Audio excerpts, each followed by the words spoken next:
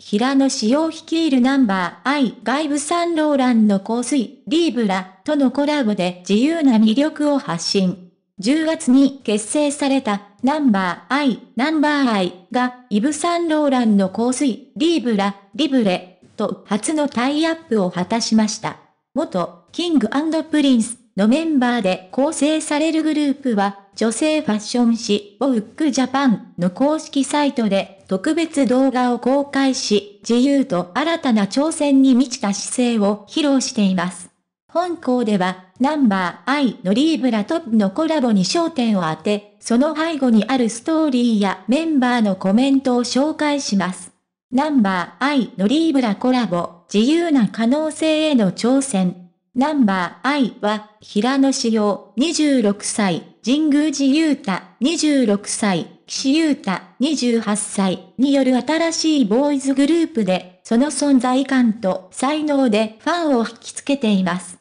10月に結成されてからわずかの間で、グループは早くも注目の敵となり、その次なるステップとして、イブ・サンローランの香水、リーブラとのコラボが発表されました。リーブラをフランス語で自由を意味し、ナンバー I のメンバーとの共通のテーマとして選ばれました。リーブラへの香りは、飾らずに素直に自分らしく生きる自由な精神を表現しています。このコラボレーションによって、ナンバー I は新しい物語を紡ぐ自由さと未知の可能性への挑戦を強調しています。コラボの背後に潜むストーリー、自由と挑戦の精神。ナンバー I トリーブライのコラボには単なる商品プロモーション以上の深いストーリーが潜んでいます。リーブライの香りが表現する自由はナンバー I メンバーそれぞれの個性や芸術性とリンクしています。グループのメンバーは、リーブラの香りを通じて自らを解放し、新たな表現の幅を広げることを目指しています。特に、ナンバー I のメンバーはリーブラとのコラボにおいて、自由に新たな物語を綴る、と述べており、これは単なるプロモーションの枠を超え、彼らがアーティストとしての自由な表現を追求していく姿勢を象徴しています。リーブラオとナンバー I の結びつきは、製品自体だけでなく、メンバーたちの価値観や創造性とも深いつながりを持っています。ナンバー I のメッセージ、自由の意味を探る。ナンバー I のメンバーはリーブラとのコラボに関連して、自由の意味について深く考え、それをファンと共有しています。リーブラが表現する自由は、彼らにとって単なる言葉やコンセプト以上のものであり、それは日常の生活やアート、音楽においてどのように消化されるかを模索しています。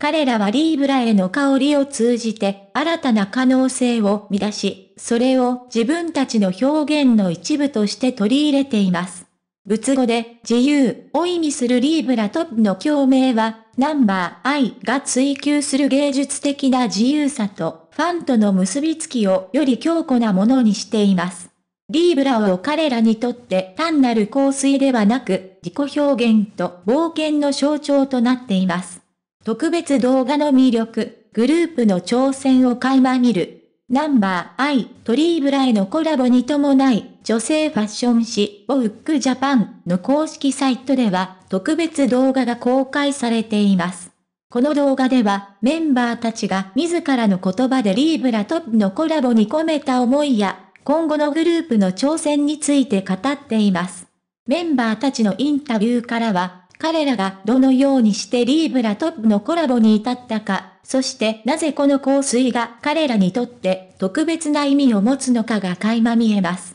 ファンはメンバーたちの素直な言葉からグループがどのように成長し未知の可能性に挑戦していくのかを感じ取ることができるでしょう。ナンバー I の新たな一歩と自由な未来への正体。ナンバー I トリーブライのコラボは単なる商品プロモーションを超えて芸術とファッション、自由と挑戦の融合を象徴しています。リーブライの香りが持つ自由の精神はナンバー I メンバーたちの個性と共鳴し、彼らが新たな物語を紡ぐ姿勢を強化しています。特別動画を通じてメンバーたちはファンに向けて自らの思いを語り、未知の可能性への挑戦を示しています。ナンバー I はこれからも自由な発想と芸術性を追求し、ファンと共に成長していくことでしょう。リーブラオとナンバー I のコラボは新しい時代の扉を開き、自由な未来への招待状となっています。